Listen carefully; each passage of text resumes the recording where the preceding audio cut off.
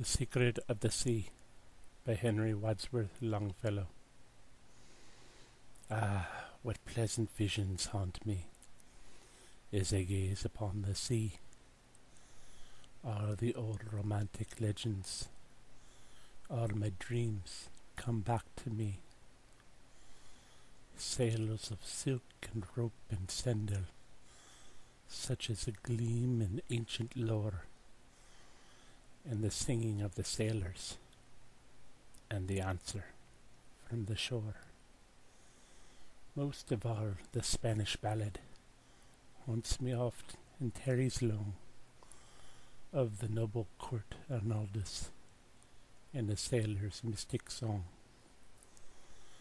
Like the long waves on a sea beach, where the sand and silver shines, with a soft and monotonous cadence flows its unrhymed lyric lines, telling how the Count Arnaldos, with his hawk upon his hand, saw fair and stately galley steering onward to the land. How he heard the ancient helmsman chant a song so wild and clear that the sailing seabird slowly wheezed upon the mast to hear.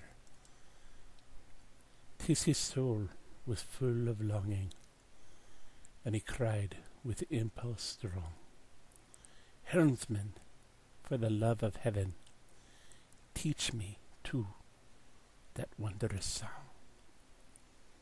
Wouldst thou, so the helmsman answered, then the secret of the sea only those who brave its dangers comprehend its mystery. In each sail that skims the horizon, in each landward blowing breeze, I behold that stately galley, hear those mournful melodies, till my soul is full of longing for the secret of the sea and the heart of the great ocean sends a thrilling pulse through me.